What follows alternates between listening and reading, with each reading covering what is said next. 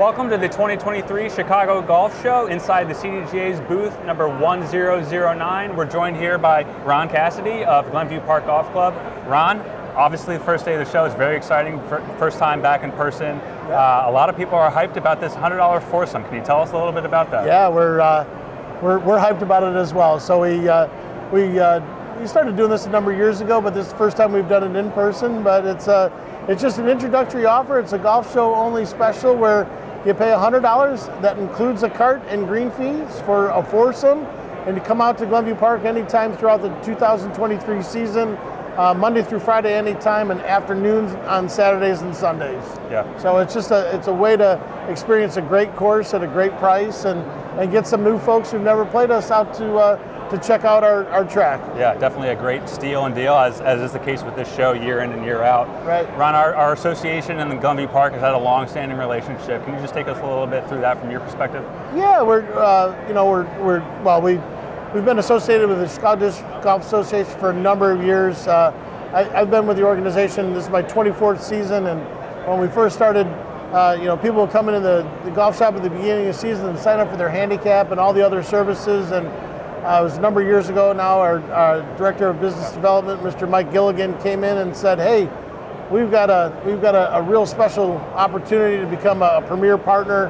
Uh, and we jumped on, and not knowing what we had in store, and it's just it's flourished ever since. And and here we are today, sitting in a sitting in a, a great location with the with the guys here in the booth here at the show. Yeah, it's awesome. Obviously, the unofficial start of the season, but everybody's itching to get it back out there. Yeah. What can people expect from Glenview Park this year? Well, I, you know, we're we're working real hard over the off season. We went out and uh, we, we trimmed up a bunch of trees and, and just did what we could to the course to keep improving, keep the conditions in uh, primo primo condition. Yeah. Um, you know, we're excited that really the beginning of the season about a month away. Yeah. Uh, you know, our records going back indicate we're, you know, second to third week, week of March is pretty typical, but uh, as late as maybe the first or second week of April. But we'll, we'll get open pretty soon and get some preseason golf going and, you know, wait for it to warm up and dry out and Yeah. we'll be, we'll be out hitting the track hard. Yeah, another one of those partnerships that we have here is with the CDGA Golf Show, which is presented by Glenview Park Golf Club.